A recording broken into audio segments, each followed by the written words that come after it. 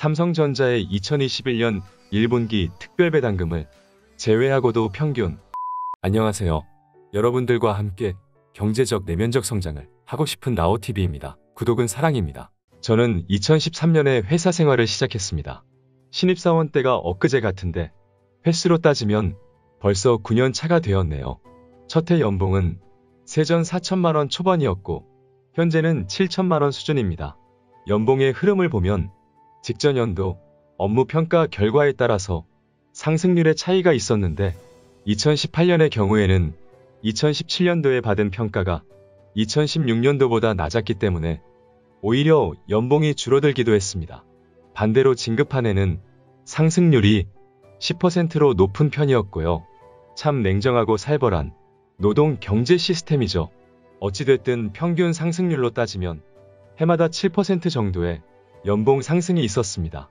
제가 회사에서 야간 근무, 주말 근무 가리지 않고 소처럼 일했기 때문에 업무 평가는 좋은 편이었습니다. 그리고 운 좋게도 회사가 속한 산업의 업황도 괜찮은 편이었죠. 그래서 개인적으로는 연봉이 매년 7% 정도 올랐다는 것에 꽤 만족하는 편입니다. 결과적으로 지금까지 저의 노동 가치는 매년 7% 정도 증가해 왔습니다. 이번에는 제가 보유 중인 배당주의 상승률을 확인해 보겠습니다. 저는 배당주 투자를 시작한 지 5년 정도 됩니다. 그동안 여러 종목들을 사고 팔았지만 현재 보유 중인 국내 주식 중 배당주 종목은 이크레더블, 고려신용정보, 삼성전자우, SK텔레콤, KTNG 5개입니다. 2017년부터 2021년까지 받은 배당금을 토대로 연평균 배당 상승률을 계산해보면 평균 15.6%죠. 삼성전자의 2021년 1분기 특별배당금을 제외하고도 평균 15.2%입니다. 이처럼 괜찮은 배당주는 매년 약 10% 내외의 배당 상승률을 보여줍니다. 이렇게 제가 받는 근로소득 증가율보다 자본소득의 증가율은 2배가 넘습니다. 그런데 이 차이보다 중요한 것은 근로소득의 증가율이 점점 낮아질 것이고 언젠가는 정점을 찍고 내려온다는 것입니다. 내려오는 것뿐만 아니라 완전히 소멸되어 없어지겠죠. 통계청의 2017년 국민 이전 개정 결과를 보면 우리나라 사람들은 생애 주기상 28세부터 근로소득이 소비보다 많아지는 흑자 인생에 진입합니다. 그리고 45세에 근로소득 정점을 찍고 59세부터는 소비가 근로소득보다 많은 적자 인생에 들어가게 됩니다.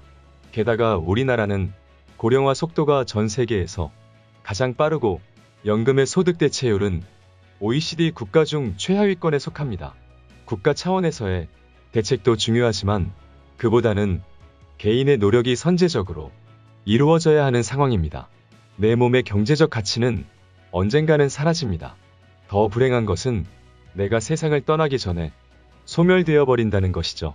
나의 경제적 가치가 사라진 삶에 대해 생각해 본 적이 있으신가요?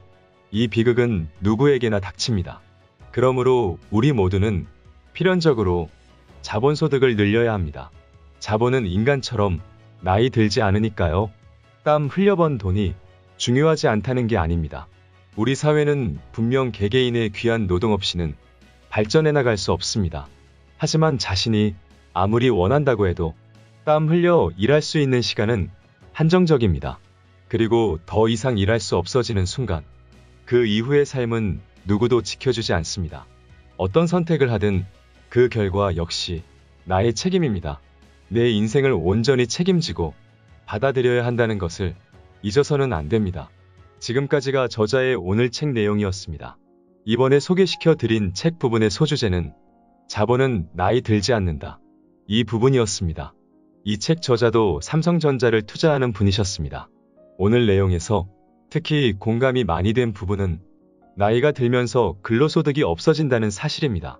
그렇기에 자본소득은 매우 중요하고 특히 배당을 주는 주식은 더 매력적이라고 느끼게 됩니다. 삼성전자는 1등 회사이고 배당까지 나오기 때문에 매력적인 종목이라고 생각합니다.